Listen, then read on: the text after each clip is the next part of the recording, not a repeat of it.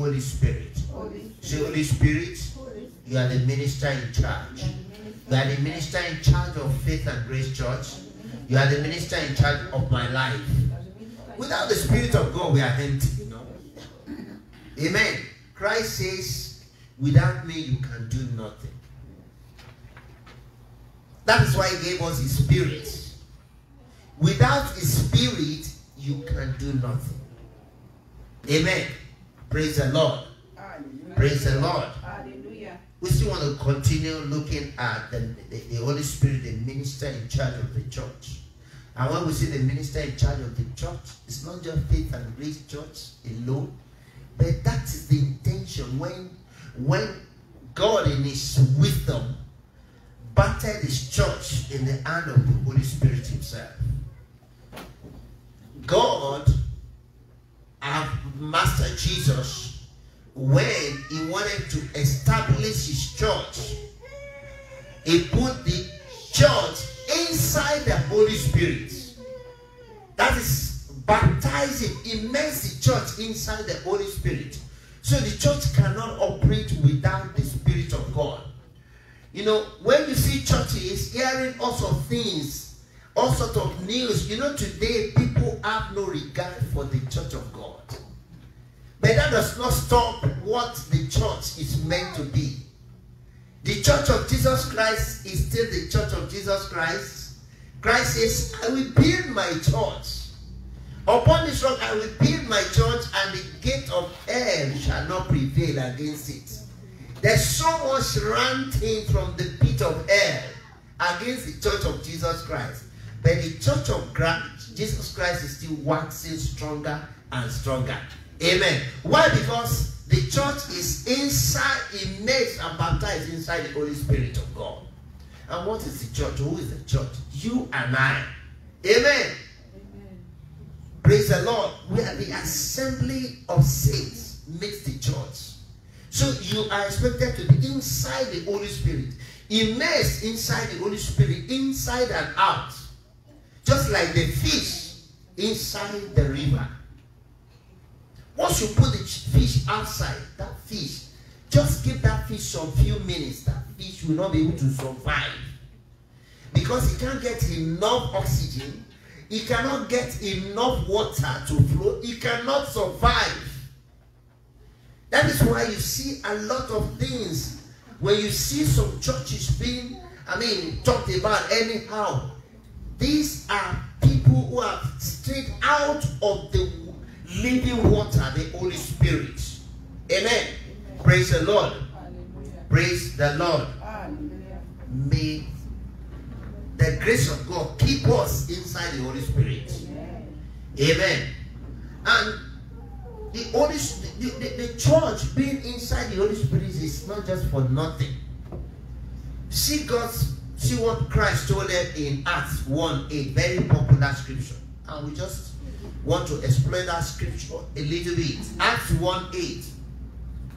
It says, But you shall receive power. Everybody say power. Power. Say, you shall receive power when the Holy Spirit has come upon you. In other words, you have no power when you have no Holy Spirit. Is that not? Do you agree with me? Do you agree with me with that simple, you know, statement? If God says, but you shall receive power when the Holy Spirit has come upon you, it means up till now you have no power of the Holy Spirit. Or you don't have power because the Holy Spirit has not come upon you. Is that clear? I think that is very simple. Amen. And you shall be my witness. Uh, you shall be witnesses to me in Jerusalem and in Judea and Samaria and to the end of the earth. Praise the Lord. Praise God. Hallelujah. I mean, Passion Translation says, But I promise you this the Holy Spirit will come upon you and you will be seized with power. You will be seized. Another version says, You'll be endued. You'll be clothed with power. Amen. But it says you'll be seized. In other words, before you operate on your own, but when the Holy Spirit of God comes, He will seize you to operate at His own level. Amen. You will be my messengers to Jerusalem, throughout Judea, the distant provinces, even to the remotest places on earth. We are the people in the remotest places of the earth. So when the Holy Spirit of God comes upon the church, you know, this is the work. Let's let's exploit this power a little bit. You know, this power in, in the Greek simply means the. The word power in English is actually from the Greek word dunamis. Everybody say dunamis. Say dunamis. You know, we need to know the root of this word because it's very important so that you know what you are to carry and you are not carrying, or what you are carrying and you may not know the depth of it. Every Christian is entitled to dunamis. Amen. Because once you are baptized with the Holy Spirit, you are seized with power. You are clothed with power. Amen. Praise the Lord. So you can see dunamis in Greek refers to strength, power, or ability. You know, when Jesus told his disciple or the apostles that, you know, he said, before you go out to begin to witness for me, make sure you are endued with the power of the Holy Ghost. He said, tarry in Jerusalem. Wait, wait for the power. Wait, wait for the ability. Wait for the strength because your work as Christian, your work requires power. Because there will be a lot of forces that will contend with you. There will be a lot of, you know, opposition. There will be a lot of people that will run you down. There will be a lot of people that will shout you down. Amen. You know, it almost happened to Peter on the day of Pentecost. They, all, they, they, they almost shouted him down. You know, if not for the power of God, the dunamis that was upon him, when the disciples, when they began to speak in tongues and they begin to, I mean, and the people saw them, the crowd came around. Said, What? These people are drunk. So what is wrong with them? You know, they wanted to, they started mocking them. If you don't carry the power of God, these dunamis, they will mock at you. They will they will just they will shut you down. They will mess you you they will mess you up. But you need the power. Tell your neighbor you need the power. Amen. Praise the Lord. Hallelujah. So he knows that look, even from day one of the birth of the church, they are ready to shut down the, the church. They, they are ready to see who are these people, these drunkards. He said, It's too early. Ah, these people are drunk already. See them saying. And some of them said, Look, I hear them speak our language. These people cannot be drunk. But because the power of God was upon Peter, for God's sake, he stood up. He stood up. The Bible says he stood up. It takes the power of God, takes dunamis for you to be able to stand in the face of a crowd of over 3,000 people. To say, look here, these people are not drunk. This is according to the promise of God in the book of Joel. You know, Peter stood up spontaneously. He stood up without preparing any sermon. Peter stood up and began to speak. He was speaking with the power of the Holy Spirit. Amen. Amen. Tell your neighbor you need the power of the Holy Spirit. Need the power of the Holy Spirit. You need to walk in the power of the Holy Spirit. Amen. Praise the Lord. Hallelujah. Praise, praise the Lord. Hallelujah. So, this dunamis in English simply means strength. You need strength, you need power, you need that ability. And in fact, from this word, dunamis is where we have the root, is the root word for the English word dynamite. Dynamic. You know, so when this power comes upon you, you become dynamic in your ministry. You become dynamic in your walk with God. You know, that is where the word comes in. Praise the Lord. Hallelujah. Praise the Lord. Hallelujah. Please tell your neighbor you need the power. Tell your neighbor you need the power. You need the power. Amen. Praise the Lord. Hallelujah. Praise the Lord. Hallelujah. In when the power came on the day of Pentecost, you know, the Bible says in Acts chapter 2, verse 4, it says, And they were all filled with the Holy Spirit and began to speak with other tongues as the Spirit gave them utterance. Amen. Praise the Lord. By the grace of God, as time goes on, we begin to learn, begin to teach ourselves the depth of the importance of speaking in tongues and all that. Praise the Lord. But on that day, the Bible says that event that happened on the day of Pentecost was something that attracted a very big crowd of people in Jerusalem. Amen. Praise the Lord. Hallelujah. And now I want you to note that because Peter was filled with the Holy Spirit, it was that singular reason that can make him to preach. And over, you know, about 3,000 souls, you know, were converted in one day. This power must be great. This power must be unique. This power must be, in fact, another version called heavenly power. It takes heavenly power to do that. And that is the power that belongs to the church. And when I mean church, that's the power that belongs to you and I. Praise the Lord. Hallelujah. And my prayer is that on this at this service, God is going to impart us Amen. as we begin to pray to God. In verse 10, in verse 40, the Bible says, Peter preached to them and warned them with this word, be rescued from the wayward and perverse culture of this world. Those who believed in the word that, that day, number 3,000, they were all baptized and added to the church of God. Praise the Lord.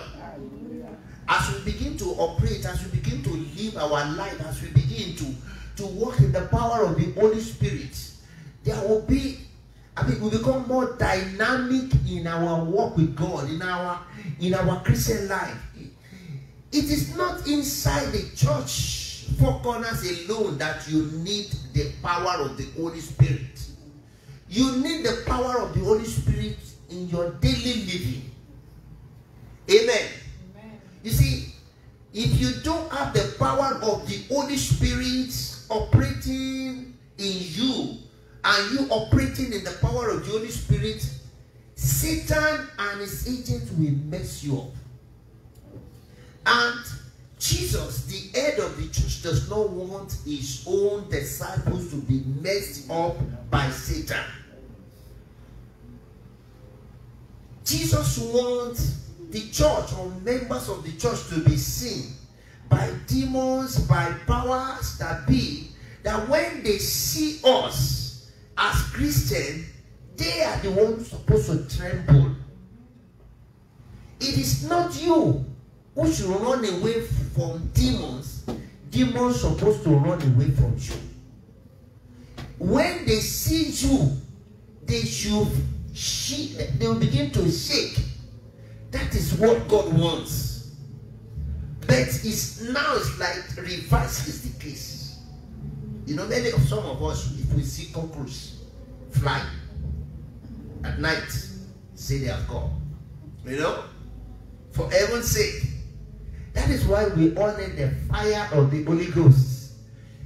If cockroach flies around fire, what will happen? That cockroach must burn. Is it not? And that is what we're supposed to be. Amen. Amen. That is why we are going to pray today for the power to, I mean, that fire to, to ignite us. That God will set us ablaze. Amen. That, that today we're, we're, going to, we're going to take some time to pray today. Because in this month of May, you know, we have entered into our season of amazing testimonies. Amen. But you need the power of God so that Satan will not cut short your testimony. Amen. So that Satan will not cut short your joy. So that Satan will not, I mean, mess you up. Amen. Amen. Tell your neighbor, Satan will not mess me up. Satan will not mess me up in the mighty name of Jesus. I say Satan won't mess you up in the mighty name of Jesus. When you see these apostles after they have received the power of God, they became very bold. You know, the, the, the, the Spirit of God is in, in 1 Timothy 1 7. The Bible says, For he has not given us the spirit of 2 Timothy 1 7. He said, For God has not given us the spirit of fear, or he has not given us the spirit of timidity, but of the spirit of power, of love, and of sound mind. Amen. The spirit God has given us is the spirit of power. The spirit, the Holy Spirit is the spirit of power. In fact, the Holy Spirit is the power of God on earth today. Amen. Praise the Lord. Peter and John filled with boldness with, to witness for Christ. You know, when you move to chapter 3 of the book of Acts, you know, the book of Acts talks about the early church, the acts of the apostles in the early church.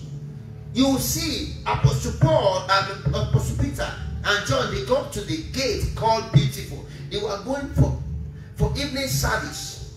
And they got to the gate. They saw a man who is always there. You know, been there for a long time. You know, they always carry him there collecting money from the people. But Peter got there and said, Look, silver and gold I do not have, but what I have I give you.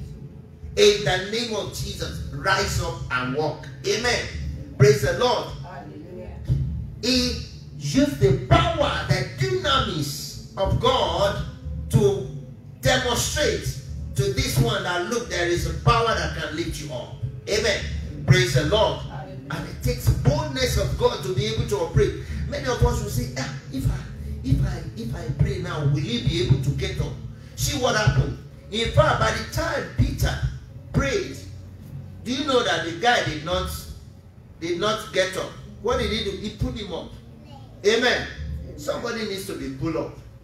Praise the Lord. Hallelujah. Thank God for your faith, uh, Sister Twain. Thank God for your faith. For the, it, it, it takes faith to be able to tell the doctor and say, look here, I pray my, my, my child will walk. Everything will be okay. Amen. Praise the Lord. We need to operate. I mean, faith requires dunamis. Praise the Lord. You have not been given the spirit of fear, or the, spirit of doubt, or the spirit of timidity, but of power. Amen. Of, of, of love and of sound mind. Praise the Lord. Hallelujah. Amen. Praise the Lord. You know, if you are, for example, acting to the voice of the so-called, thank God for for, for, for science, will have been following their this thing and be carrying bottle about and all that. Before you know it, a child of three will still be carrying about bottle or but God, what what God says, whatever I hear, hear you speak, I will do for you. If you say your child will walk, he will walk. If you say he will eat, he will eat. If you say I don't need that thing in the body, you will not need it. Because the maker of the heaven and earth, the one who created everything in us, has the power to fix it. Amen. And that's the power, that's the God we are connected with. Praise the Lord. And that's why I'm praying that we begin to operate more and more in this realm of the power which God has given us. Amen. Praise the Lord. Hallelujah. Peter, you know, was filled with the boldness. And you know that that thing became a, a- I mean, a big noise in the land that when they have seen this guy, when Peter pulled him up and began to walk, and even even then, people still don't believe that this can this thing be. And you know the the elders, the leaders of the, the Pharisees, they gathered against them and began to persecute them. But there was power. There was power. The power of the Holy Spirit. Let's look at chapter 4 of that book of Acts. Let's look at chapter 4 of the book of Acts. Of verse 3 first. Let's, let's check that story in chapter 3 from verse 6. Then Peter said, Silver and gold I do not have, but what I do have I gave you. In the name of Jesus Christ of Nazareth, rise up and walk. And he took him by the right hand and lifted him up. Another version said, and power surged into him. You know, the kind of power entered into that one and lifted him up. And immediately his feet and ankle bones received strength. You will receive strength in every area of your body, from the crown of your head to the sole of your feet. I say, receive strength in the mighty name of Jesus. Everything that is weak, everything that is that is not as God has created it. I say, receive life by this word in the mighty name of Jesus. Praise the Lord. And he took him by the right hand and lifted him up. And immediately his feet and ankle bones received strength. Verse 8. So he leaped. He leaped, he leaping up, stood and walked and entered. You know what it means? That this guy, for say 38 years now, this guy has never walked in his life. So he cannot know how to walk. You know, one day I was during this COVID uh, crisis last year, you know, just to let you know that look, even someone at an old age can begin to learn how to walk.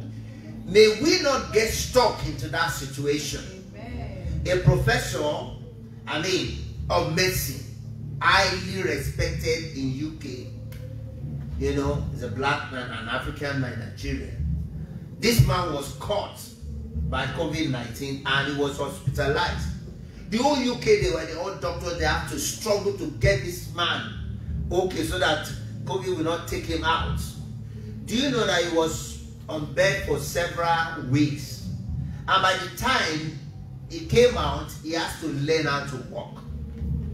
That's just to tell you that look, what Peter did here doesn't mean that look, he, the healing has not taken place, but this guy had to learn how to walk. The Bible says he was limping because it's strange for him to walk. Amen. May we not get devastated or destroyed to the level whereby you begin to learn how to walk. May the infirmity, the sickness that will make you not to know how to walk again, may it not come upon you. In the mighty name of Jesus. Praise the Lord. And walking and enter the temple with them, walking, leaping, and praising God. Walking, leaping, and praising God. And all the people saw him walking and praising God. Then they knew that it was he who sat begging hands at the beautiful gates of the temple. And they were filled with wonder and amazement at what had happened to him. And that is how the testimony that God will give you will be. By the time you stand before the congregation of people and give the testimony of what God has done for you, it will become an amazement. People will hear it and it will become viral on Facebook. That there is God that is God, God of wonders, and He has done your own. In the mighty name of Jesus, I speak and I prophesy to the life of every one of you hearing the voice, my voice right now, that you will have a testimony that will become viral on Facebook, on YouTube, in the mighty name of Jesus.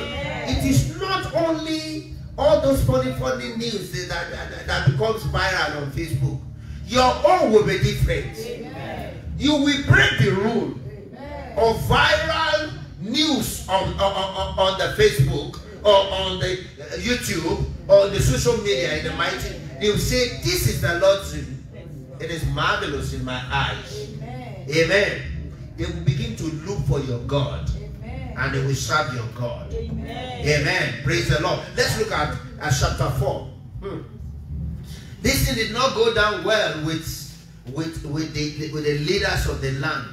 Chapter 4, the Bible says, Now as they spoke to the people and the priests, the captain of the temple and the Sadducees came up upon them and being greatly disturbed that they taught the people and preached in Jesus the resurrection from the dead. And they lay hand on them. You know, they have to persecute for doing good work. like that. But what happened? That did not stop them. That is one good thing about dunamis. Because God knows that by the time God does wonders in your life, some people will castigate you. They say this is fake. But by the power, by the dunamis inside of you, you'll be able to stand. Say, it is the Lord who has turned again my captivity. This is the Lord's doing. It is God who has done it. Amen. Verse 8, the Bible says, Then Peter, filled with the Holy Spirit, said to them, Rulers of the people, elders of, uh, of Israel, filled with the Holy Spirit, he faced them. When the power comes, you will be able to face the rulers of the land. This same Peter, who could not face a little girl, on the day Christ was, was going to the cross, he denied Jesus Christ three times. Little girl. Little girl. That one said, ah, this one was among them. Said, God forbid, I don't know him. In fact, the second time, he had to swear. He had to look. You know, now uh, begin to look, to, to swear. In fact, uh, the third time, he, he, he put himself on the cross. If I know him, let something evil happen. See the same Peter, the same Peter, when the power has come, he was able to stand before the rulers, before the kings. You know, when the power of God comes upon you, because of the spirit of boldness and the spirit of it's an excellent spirit, you'll be able to speak. In fact, by the time Peter spoke, they said they wonder where did he get this power, this boldness, and he has no letters. Oh, they remember he used to be with Jesus. Amen. Praise the Lord. See, Peter that denied Jesus, people know that, look, this guy was with Jesus. Have you been with Jesus? If truly you are with Jesus, if if truly you are the disciple of Jesus, you're supposed to carry this power. Amen. We're supposed to walk in this boldness. We're supposed to walk in this power. Praise the Lord. Today, by the grace of God, God is going to give us, I mean, a fresh touch of this power. In the mighty name of Jesus.